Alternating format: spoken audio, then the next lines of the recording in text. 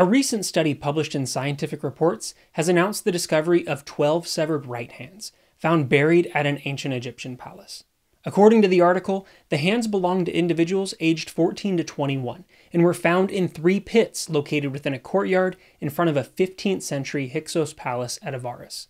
It's unclear if the hands were taken from living or dead persons, but archaeologists believe they are evidence of an ancient Egyptian trophy taking practice called the Gold of Honor where warriors would be rewarded with a collar of gold beads in exchange for the right hand of enemies.